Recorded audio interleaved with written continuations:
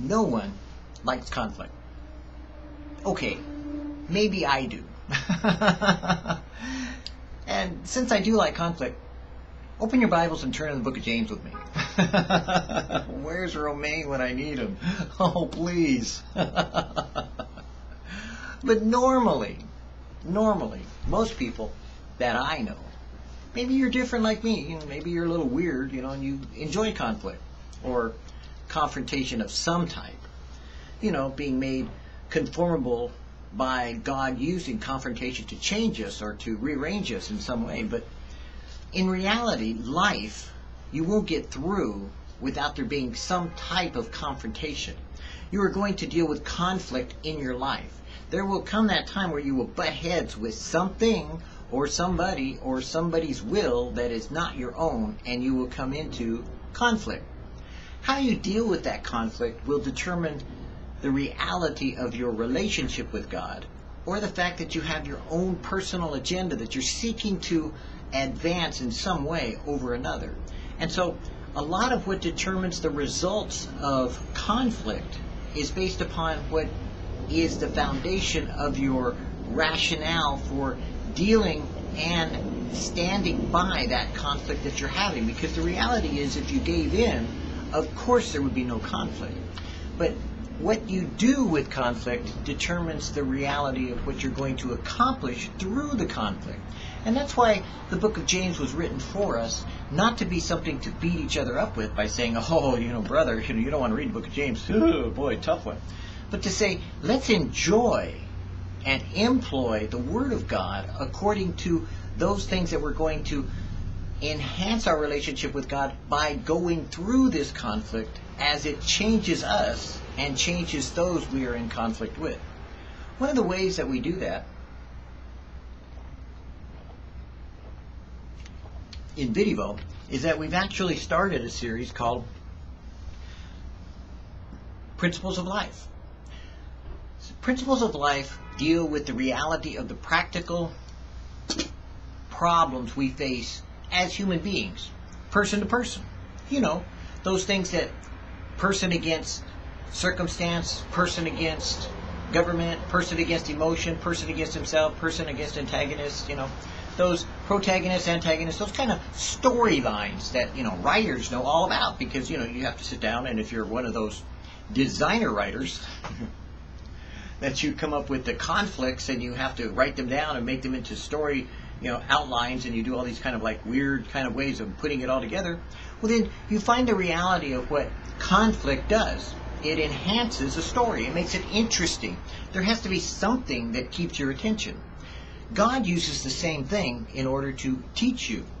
A lot of times he uses certain principles from the scriptures in order to teach you about life. And life in this life was meant to be abundant not just in the sense of you're going to get a bunch of money, you know, which some people think that's abundance. But the abundance is the wealth of the reality of being able to be full in all sensory perceptions, all emotional reactions, and all soulful and spiritual experiences that God wants you to have to a completeness. In other words, He wants you to be not just full, but overflowing with all that He is and all that you can learn from this life so that you would have not a purpose driven life, but a fulfilled satisfaction with knowing God in a personal and intimate way and realizing Him in all the principles that life can offer you to train you and to teach you in the way that you should go so that your life does have purpose, meaning, and satisfaction. When you end your life, you can say with God saying to you, I have kept the course, I have run the race. There is laid up for me a crown that is eternal life, and I am satisfied that I have done all that I could in this life, as well as enjoying the life that's to come in eternity. We use the Institute of Basic Youth Conflicts book because it's very good. it seems to detail out some wonderful information. Things that have been organized and collated and usually done in seminars around the country by Bill Gothard ministries and what they were doing at the time. But we expand it and expound upon it according to what the Spirit of God leads us and directs us as we share. And you take to prayer those things that work for you. Because one of the things that we're told always in everything, whether it be in Bible study or in life, the Bible is always called instructions for life. It has principles that we can apply to our life that are real. They work. Ask any Jew. Such a deal. and it works. You know, ask any person that's religious without knowing God, and you'll find that they have principles that are from the Bible, that are scriptural. The nation itself is often determined as being a Christian nation because of the morality that it stands by, but also because of the biblical standard that it lifts up as being a standard for conduct, whether through judiciary or legislature or moral or civil code that is codified from the Bible.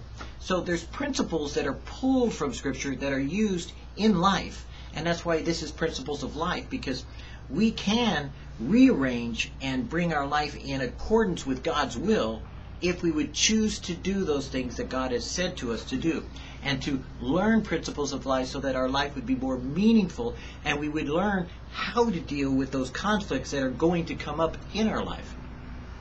In the new section that we've been doing, we now have arrived to the place where we've already dealt with a lot in the past, and normally I go through kind of a review after three or four, you know, these videos, but today we'll just go right into the study. And what we're studying is how to get the greatest benefit from your problems. So open with me to the book of James. and you could cut short this entire video just by reading James 1.1. Count it all joy, brethren, when you fall diverse tribulations. No, you have to work in your faith produces patience, but let patience have perfect work that the man of God may be fully equipped, you know, and blah, blah, blah. You know, the bottom line, you know, it's like you don't want to read it, so you don't want to go there, so you're not going to learn it, you know, so let's learn it the hard way. But if you really want to learn the shortest distance between two points, it's always the Bible, but unfortunately, we don't always understand the Bible. So, like when we do look at James, you know, we kind of go, well, you know, James is one of those kind of books that, you know, I look at, but I don't get it. You know, I don't understand it. You know, I just kind of pay attention to what, you know, people say about James, but I don't really take it personally or adapt it to myself, you know, morally or even have it apply to me, you know, as though I'm the one that he's being written to. But the truth is, James is written to you. It's written so that you would be changed by the very Word of God alive and well and living in you and causing you to deal with the conflict that you have in your life with the spiritual life. Even as it says, James, a servant of God and of the Lord Jesus Christ to the twelve tribes which are scattered abroad, greeting. My brethren, yeah, bro, guess what? Hey, check it out, man. Count it all joy when you fall into divers tribulations, temptations, knowing this, that the trying of your faith produces patience. But let patience have her perfect work, that you may be perfect and entire, wanting nothing. If any of you lack wisdom, let him ask of God that to give to all men liberally and upbraideth not, that it shall be given to him. But, oops, let him ask in faith, nothing wavering, for he that wavereth like the wave of the sea, driven by the wind. But let no man think that he shall receive anything of the Lord. A double-minded man is unstable in all his ways. In other words, if you really wanted to be smart, you don't have to do principles of life. You don't have to read some other book. You don't have to go anywhere but James. James 1.5 tells you, if any man lack wisdom, hey, check it, do it, learn it, grab it, apply it. Ask God. He'll tell you. But unfortunately, if you recognize that you don't always hear with your hearing, see with your seeing, and understand with your understanding, but that you're being transformed, then you begin to recognize that there are principles of life that adapt you for a better way of understanding the Bible, not replacing the Bible. And that's why the Institute of Basic Youth Conflict Seminar is always about the Word of God, with the Word of God in it applied to the principles of life. So, in learning how to get the greatest benefit from your problems, we're going to discuss five areas. Only today we're probably going to discuss maybe one, and maybe two or three or four or five. No, actually one or two, depending upon how it goes. Usually when I try to break them up into sections like one, two, three, four, or five, if it has it, because there's always so much more volume than the summary that's being said. And a lot of times people will read a summary and not apply it to themselves because they take it out of context and just cut to the quick notes and never really deal with it personally. They don't say it's me that's in conflict or this doesn't apply to me when in reality if they thought it through it would do what it's meant to accomplish in you. And that's why you're watching this video because there is a reason why you're watching, why you're paying attention, and why you're hearing it. Is because God wants to do something in you that you're carrying some kind of baggage that you need to deal with. whether it be of life or wife or kids or home or house or spouse or wherever it is that you're dealing with, whatever kind of conflict you're going through, every day has conflicting issues that come up, even if it is boiled down to the simplest one of all, which is wrestling not against flesh and blood, but against principality, power, spiritual wickedness, high place. That's pretty simple, right? Wrong. That's pretty detailed. So a lot of times people will quote some fanciful scripture and never apply it to their life because they just, ah, you know, they say something spiritual sounds good, you know, and they just go, yeah, fine, you know, I'll deal with that in the sweet by and by, you know. Or, you know, yeah, but, you know, we got it covered. And you don't. The truth is, you're in conflict and you don't know how to deal with it. And so that's why we go through these in depth, trying to apply that which fits according to the scripture and according to our personal way of God applying the Holy Spirit to our lives because it's the Spirit of God that's teaching you, not me. I don't have any great, you know, theological background. Okay, maybe some. I don't have any great wisdom. Okay, maybe some. I don't have any great, you know, whatever. Okay, maybe some. But maybe, you know, there might be something that you could glean from and get some application to yourself so that you could learn from and grow there in, knowledge of Jesus Christ and wisdom that He's got for you. Because if you were wise enough to already apply James 1 5, you wouldn't need this. But we all need encouragement. We all need to be taught and learn and apply the scriptures accordingly as we are given wisdom as we are given need as the conflicts arise in our life. So, five different areas are benefits to us. And the first benefit is the benefit of getting more grace from God. That's how to get a benefit from your problem. Your problem actually helps you get more grace from God. Number two is the benefit of self examination. Number three is the benefit of new insight into Scripture. And number four is the benefit of unifying the family. Now, I know a lot of people are saying, wait a minute, my problems are to unify my family? My problems divide my family. Well, yeah, if you got a family.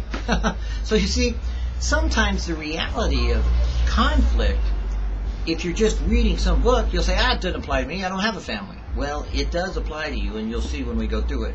I'll make sure it applies because I've been there, done that. There isn't much I really haven't tried the hard way. Matter of fact, I've experienced a lot of things, a variety of ways, so that I would be equipped today to be able to share in those problems the wisdom with which God had given me, or as we say, the grace with which I received, I am able to give to others the same grace, extending to them mercy and grace according to that which which I was given. And that's what the Holy Spirit does in our life with principles of life. He takes our life and uses it as an object lesson to make us objectify our experiences in life so that we can use them to minister to others the same grace and mercy we've been given. That's what it's all about. That's what's called being a witness. Hello. And so number five is the benefit of uniting the families of a church. A lot of times you'll see that most of the times what happens in churches is really just the same extension that's gone on in the personal family.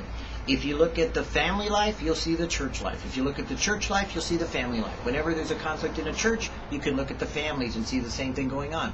Conflict is good. It really is. There are benefits from it. Conflict is bad when you deal with it wrongly. It's a neuter. It's something that can be beneficial to us, but it's not something that should be rejected. The same thing about when people say, well, you know, I don't want stress. I do. I'm sorry. Stress is the production of taking your fat, that little fatty muscle that you have, and putting stress on it so that it becomes a muscle instead of just being a little fatty cell, you know, that's sitting there getting, you know, kind of like cancerified or whatever you want to call it, or fat or kind of saucy or floppy or whatever you want to say it is cellulite, you know, and stored full of nothing in it, you know, and just a bunch of yuck. Well, me personally, no. I want it to be stressed. I want it to develop into what is meant to be a muscle. A muscle tissue that's not under stress becomes a fat tissue. Likewise, coal under stress becomes a diamond a Christian under stress becomes faithful, not faithless. So stress is good. Don't think that the idea that we have in medicine that stress is bad. It's how you deal with stress. So the point is stress is neutral. The same thing is true about conflict. The same thing is true about problems. And that's what we're dealing with is problems. Whenever I have a problem, I'm told that I can either flee, you know, there, there's no flee, fight, or you know, defend yourself, or there's actually seven different ways that you can deal with a problem. You know, you can resolve it. You can, I mean, there's. I didn't sit down to think about problems because I was thinking, well, that should be another teaching, and I suddenly my mind went off to another tangent. You know, I said, wow, I could start another one. Um, there are different. There's at least seven. There's probably 49. I always think seven times 70 is 49. You know, we get these different variations that in Jewish thought you could go off of seven. You could make, believe me, a bunch of applications. But in seven different areas, I know there's got to be, you know, ways that you can deal with something neutral like a problem. It's just because I've dealt with seven different ways of other things that you could deal with it, so I kind of always play that in because it's a complete number and there's ways to applicably apply it to your life in all the different areas of your life that there are. And people write these little circles and they put this problem and they put that, you know, concentric circles overlapping of what they do and you can see it in a picture we don't have a chalkboard. I was going to teach this with chalkboards. I started to, and unfortunately, here we are doing what we do as we do the way we do it. So, in saying that, most of us want quick solutions to our problems. But God wants to make sure that all his disciplines of character development in us and those around us are accomplished before he removes the problem. Circular reasoning is the idea of going around in a circle. You start from point A, you go all the way around the circle and come back to point A. What you are going to experience in life is something like that. You are going to go through kind of a circular, almost like a ball effect, where instead of you going around in a circle like on a line facing downward, you're going on a line facing upward. And if you happen to get through that circle and you have learned all that you're meant to learn, you start on another circle going upward. It's like a ladder of circles.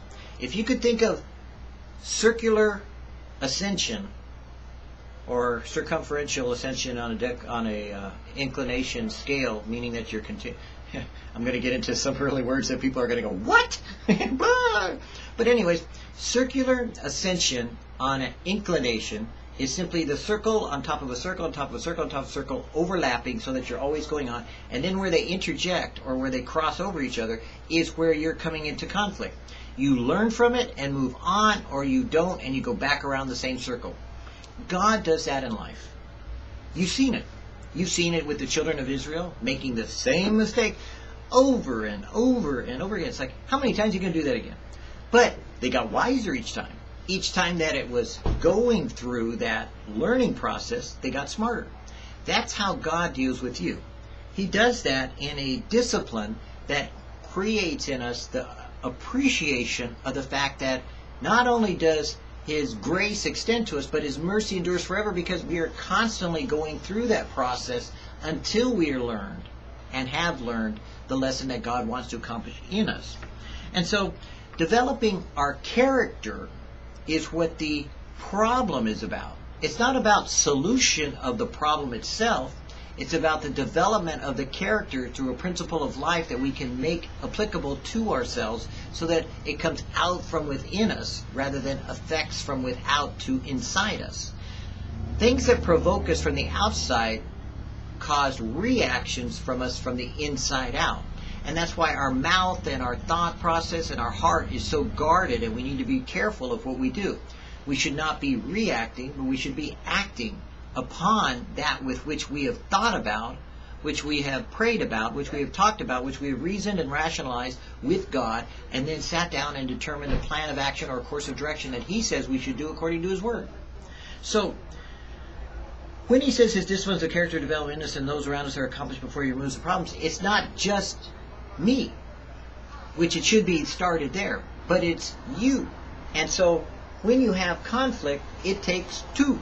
In other words, there has to be the active part of some reactionary causatory effect that's going on to cause you to butt heads with something. This has to be one thing that you have to learn everything from, and this has to be something that you learn everything from. What more can you get out of this conflict? What more can you get out of beating your head against the wall except that it's a wall? Well, of course there's more to the wall. What kind of texture does it have? What kind of height? What depth? Can you crawl under it? No. Okay. Well, can you go around it? No. Okay. Can you go over it? No. Okay. Can you go through it? No. Well, then what's God going to do? He's going to take you past it somehow. Dimensional reality shift. Woo hoo. Where'd the wall go? Oh, well, we're past it. Hey, there's always alternatives. And that's one of the things that our mindset often needs to be changed from where we were to where God is. Because with God, all things are possible. With man, it's impossible. And that's what Jesus kept trying to say to us whenever he was talking to any of the disciples or to even people that came up to him and asked him a question. They would say, well, you know, how can you be born again? You know, that which is flesh is flesh, that born is spirit, spirit, you know, blah, blah, blah. He said, well, with man, it's impossible. You know, they can't do it. He can't do it himself. Man can't. Man can't resolve his own conflict. Physician, heal thyself, and the physician goes, yeah, right, sure. You know, up to a point he can take care of an initial problem, but he can't heal himself. And the reality is you don't see a faith healer healing himself by faith. Sorry, it doesn't work that way. Often it's one of the sure indicators that they're changing their mind because they find themselves sick.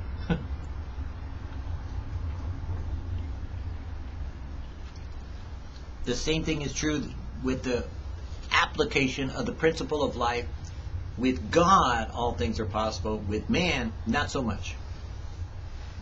So, we learn that our benefits are not from quick solutions, but until we are resolved the absolution of the problem itself so that it's no longer a problem, but a benefit.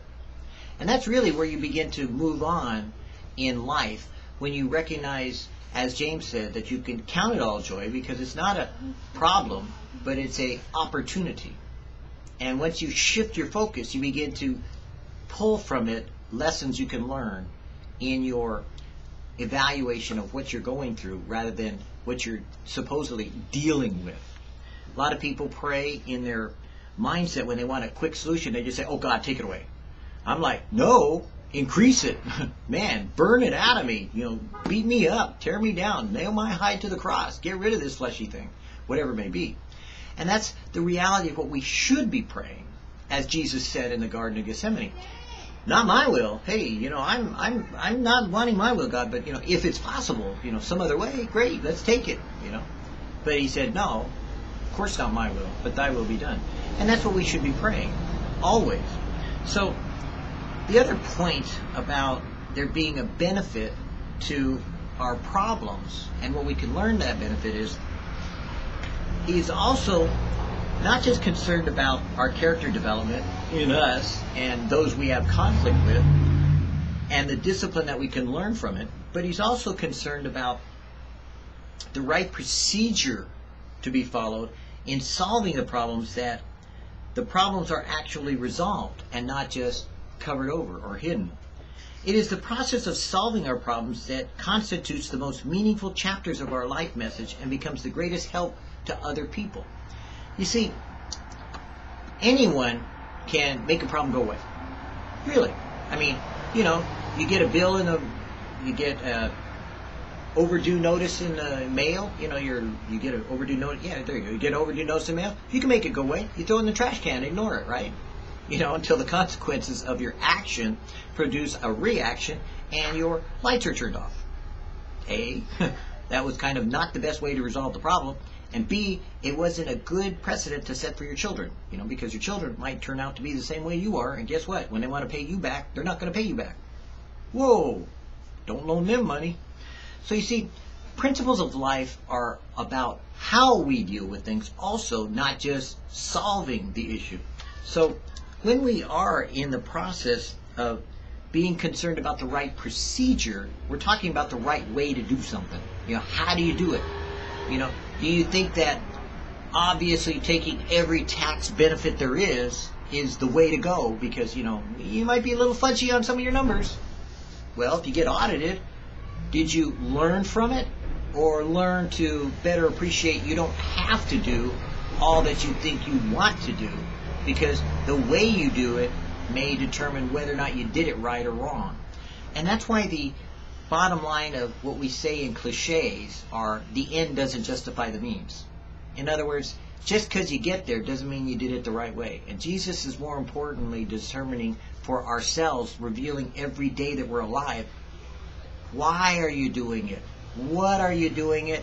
How are you doing it? You know, in school you learn the old who, what, when, where, how, and why. And That's what God is concerned about in our life, with every conflict we run into, with every problem that we seem to be facing. There is a who are we having a problem with? What is the real problem or what's the problem? You can do a bunch of different varieties of that when you say what because you can do that with who too. I always say seven for each one, you know. It's like, well, you know, get creative, you know, and you really can. But the who, the what, the where, you know, where is there conflict? Is it in your soul? Is it in your emotions? Is it in your life? Is it in your family? Is it in your, you know, the the issues of conflicts we learned earlier affects everything in our life. You know, when you have a conflict, whether you know it or not, you're carrying that baggage around with you all day long, affecting everything that you're doing. It's in the back of your mind. You say, "Oh, well, I I have a categorical mind. I'm able to file it or compartmentalize it." No, you're not. That's just some psychological psychobabble that some sociologists came up with in order to say that some people deal with it better than other people, so they compartmentalize it. No, they don't. It's still there. You just don't see it. And that's why Jesus said the things that are hidden would be shouted from the rooftops. The things that are done in darkness would be made manifest by the light. And the reality of being truthful is truthful because God is the one we're dealing with. God is the one who's bringing the issue to light. God is the one who is showing us that our problem is an opportunity to learn. If we're truthful and we're willing to do it His way, not our way, as we said about in the Garden of Gethsemane. We want to get out from under pressure of our problems, but God wants to use that pressure to motivate us to a greater level of spiritual maturity than we would otherwise have achieved. Crucify with Christ, literally, and that's what God wants. God wants to put the screws on you so that you will come to the place where you realize with man it's impossible, but with God all things are possible. You fall on your face and find to the place that you can't do it yourself, but He can do it for you. See, the backwards thinking in Christian mentality, I just dealt with a few minutes ago on the web, but one of the worst expressions is God needs you, or you are God's hands and feet, or you're partnering with God to do something, or you're somehow a part of God's plan. Well, you are, but not the way you think. Because God uses you every moment of your life, regardless of whether you're doing it for being a vessel of honor or a vessel of wrath, because He's using you as an object lesson. And quite frankly, I'd rather be considered an object lesson for doing something right than an object lesson for doing something wrong. I'd rather be an object lesson of being smart than be an object lesson of something stupid, you know, which is usually what I am. But the point is, no, you are not God's hands. You are not his feet. God doesn't need you. God doesn't require anything from you. God can do it himself. God does do it himself. You get to participate with him or see what he's able to do with you, regardless of whether you understand that or not. A lot of Christian theology, a lot of Christian discipleship likes to make out those little cliches because it sounds good at first when you're starting off as a baby Christian. But the bottom line is that if we were treating each other as adults and we were respecting each other as not having to lie to one another, then we never would have said that in the first place. And that's why I disagree with a lot of Christian discipleship and material that's out there because it's false pretenses that is being made aware to Christians that are baby Christians without saying the rest of the story of what God said. Deny yourself, take up your cross, follow me. And that's basically what God wants to do. Crucify you. No, he doesn't say, you know, you get grace and it's all done and over with. He does, and it is true. But you will still have to crucify your flesh. You will still have to live according to his will. You will still have to do things that God says to do. Because if you don't, you're in rebellion to God, and it says that if you are in rebellion to God, you never were saved in the first place. You thought you were, maybe. I don't think so, but I think you knew all along. But the point is, for our perspective, looking on the outside, we say, man, that guy was so obedient. And on the inside, God had said, no, I told you to do this. You never did it. You never accepted me. I've been trying to talk to you ever since. You never got back to me once. You just ran forward in a great revival meeting, you know, and said, I did it, you know, and I got it, and I'm gone, you know. I did it, I got it, I'm gone. That's a famous line of those that think they're saved and have no personal relationship, no interaction with God Himself. Though grace has been extended to them in mercy for a season until that time they have a reason either to make the choice or be rejected as having made a choice to serve the Lord Jesus Christ with all their heart, soul, mind, and strength, or else they are not serving God, they are serving themselves. And so, in a lot of ways, grace is covered by the reality of what we see, but we allow the time for God to work according to what we can't see. So, God wants to use that pressure on us to motivate us to a greater level of spiritual maturity that we would otherwise have achieved because a lot of times most Christians will look back on their life and they'll say, you know, I was going to church and I was doing the right thing and I thought I was saved and by golly, you know what? It was nothing compared to what I got now. I know the day I got saved. And they do. They know the moment they went from religious life, which, you know, nothing wrong with religion, but you have to add a relationship. Religion puts you into a relationship and then you live your relationship religiously. They're combined. They're an integral part of each other. They're overlapping circles, concentric circles of escalation, of e- concentric, concentric, concentric circular of applicational relations, relational escalation, or something like that. And when I did the uh, study I call integral specificity, a type of theology that you know I've written. I used a lot of, you know, for theologians, you know, a lot of all this kind of mathematical equational relational basis for what is going on in Scripture and what is going on in life, because mathematics does apply to life, and it's something that you know a lot of people use in you know theoretical sciences. But anyways, I just did it in theology and thought it was great, and it works. Oh well, the Bible fits. Who who thought? who would have thought? God did. But as he uses those pressures, we find it is James 1, you know, 3 or whatever it is, James, that causes us to recognize that it isn't the problem, but it's the pressure that wants to make us move in the right direction so that we would accomplish it according to the way he wants, when he wants, how he wants, as he wants, choosing to use that as a way to teach you and for you to learn from him according to life itself and the principles of life. Because God is the author of life. He's the beginning and the end of all life. And He is, as Jesus said, eternal life itself. Often our present problems are the result of past disobedience to the initial promptings of the Holy Spirit. Now God is using these problems to apply the pressures we need to complete obedience. If we fail to gain these benefits from our present problems, He will only have to raise up new problems the whole idea, and it's funny, we didn't even get to number one, but you know, this was a good introduction to all five of the benefits from our problems. And this introduction, the reality is true that the problem is not with us. The problem is not with God. The problem is not with someone or of something. The problem is our definition of the reality of it being a learning experience where we are supposed to grow from the issue and the resolution. When I was going to, when I was going to, when I was work, well, actually, when I was going to college or a tech school, um, computer learning center to study network engineering, I worked at a, a uh,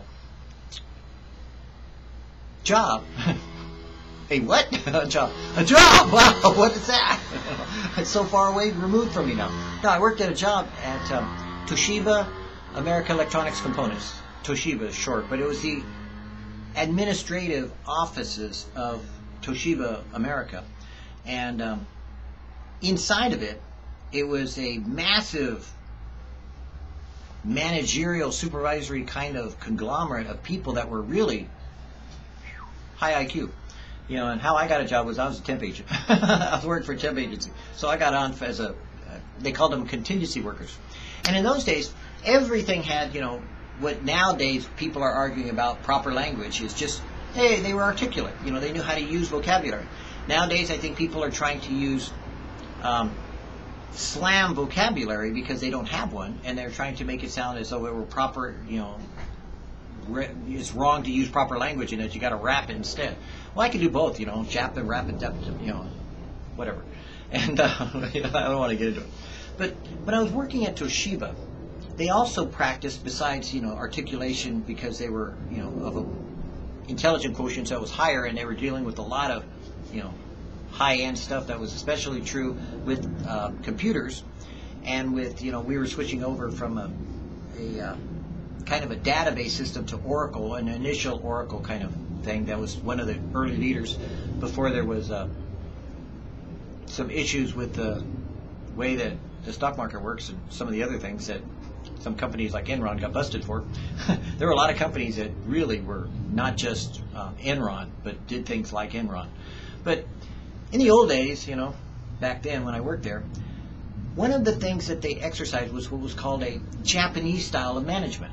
And the Japanese style of management was that the company, and yeah, they call them company, you know, was the important part, was that we were there to accomplish goals. And those goals were to resolve issues. The issue of, you know, being profitable, how do we resolve it? And everyone would participate in it. Everyone would participate. It was a conglomerate work together kind of atmosphere that was very good for me to understand what it was like to work cooperatively together on team projects without there being someone in charge. Although there was an echelon, echelon, echelon, there was an echelon of you know responsibilities and management that was above and below and all that stuff. The reality of how we dealt with things was on a equal, you know, equal basis. And I was in severely intimidated by it because I was pretty shy in those days. And shy? Me? Who? Where? Huh? Did I say that? I'm a little shy. But having said that, working there, I learned a lot about that kind of style of management and the cooperative reasoning and rationale that put itself into proper perspective when it came to the scriptures because that's what God wants to do in you and I. He doesn't want us to treat each other as a problem and a solution or to say, you're in sin and I'm not, so guess what? Suffer, sucker. Goodbye. But no, to pray for, to intercede on behalf. If there's something I can do in activity wise to help provide the environment for you to grow out of your immaturity or your sandbox or whatever it is you're playing in because you're playing with life instead of living it, then that's what Principles of Life did and does, and how I learned it in my real life was according to some of the management techniques that were out there. I learned that there was cause and effect that you could create with God the place where people could evolve or learn, as it were, because evolve, some people get evolution mixed up with evolve and they think it's a bad thing. So, having said that, we all are heading in the same direction. We're going to the same destination. We're going to heaven. Guess what? We've been given grace. There's no reason to not enjoy and have an abundant life for that purpose of every day being able to deal with each other on a regular basis. Because, frankly, the bottom line is like Romaine used to say, you're stuck with me, sucker. You got to deal with me the rest of eternity. Deal with it now. you know, and okay, well, you know. And one of the things that I learned early on you know, not through the seminars because I never went to one of the seminars. Go figure. and yet I'm teaching it. Oh well, who would have figured? Where's Bill Gothard? But but having said that, one of the things I learned early on, through James 1.5, you know, and kind of like direct application, was that Romaine would say, and stand up in front of the church and say, hey, you know what? Find somebody you can't stand in the church, and then go stay with them live with them or, you know, be their friend. Well, I did. For all my Christian life, most of my friends, they, whether they know it or not, you know, if they watch this video, I'm in trouble. I don't have very many friends. But whoever I couldn't stand in church, whatever church I went to, I'd sit next to them. I'd, I'd meet them, greet them, talk to them, figure out that, yeah, I can't stand them, but guess what? I learned to grow with them, to be a part of their life, to encourage them at the portion of life that I was with them in, and to develop with them some of the graces that they may still have today. Some don't, but you know, go figure. But you know, some have grown and become more men of God, you know, and greater for the experience that we shared together. Sometimes, because I was young and dumb at it, you know, and I learned from it, I had to develop my own graces, and by being stumbled over them, you know, I likewise experienced how God intended to do it the right way, even though I had the right intention, the right perspective, I may not have been doing it or implementing it the right way. And so that's why principles of life are so real, because they are about life. They're about how you're dealing with your everyday experiences as we've had those everyday experiences in some ways of the scriptures recorded for us so that we would learn from the Old Testament and learn from the New that we can apply to life in everything we say and everything we do so that we would not be children tossed to and fro with every whim of doctrine and every kind of you know conflict that comes along so that we're reacting and acting according to the world and letting anything that's out there affect our peace, our love, and our joy. Or we can be those well springs of those desert places, those I started to say moshavs, but they're not a moshav. Those um, oases in the middle of a hot, dry desert where people will come and taste of you and see, wow, man, I like talking to that guy. He makes sense. Or a girl, or woman, or man. And it's because you're sharing with them just the life lessons that you've learned that are principles of life that come directly from the author of life, from Jesus himself. Because Jesus came to give us life and life more abundantly in this world as well as life to come in the next. So, Father, I thank you that there are principles that we can take from the Word of God, from the life we're living, and from the way that the Spirit of God applies these things to our life. Heavenly Father, I pray that as you have given the Holy Spirit opportunity to live inside us, I pray that you'll give him permission to go beyond us so that he'll overcome our flesh and uh, at times our misunderstandings so that we would know the fullness and the depth of your sufferings as well as your glory so that we can see how to live our lives according to your will, Father, and not our own. So that if we are experiencing the Gethsemane's, we can go through them and pass on to the cross and be resurrected. Or if we are going through those Jacob's trials of trying to manipulate you, or doing the Moses thing where we're acting out according the wrong way and killing someone in order to learn the right way to trust in you so that we would not do it our way, but we would do it as you are doing it and allowing you to accomplish your purpose in parting the land or parting the water and causing even the Egyptian army to stand back because of the pillar of fire by night and the cloud by day. So, Lord, I pray for each and every one of us that has the Holy Spirit that you would teach us principles. You would lead us by the Word of God. You would inspire in us to be changed by the renewing of our mind, that we might comprehend what is the excellency of the knowledge of Jesus, and then be content therein to live according to your will and your principles in your life. Amen. God bless you. You know, gets exciting. It really does. Once you figure this out, you know, you kind of go, cool. That's what it is. That makes perfect sense. And then you find out it's not common sense. It's God sense.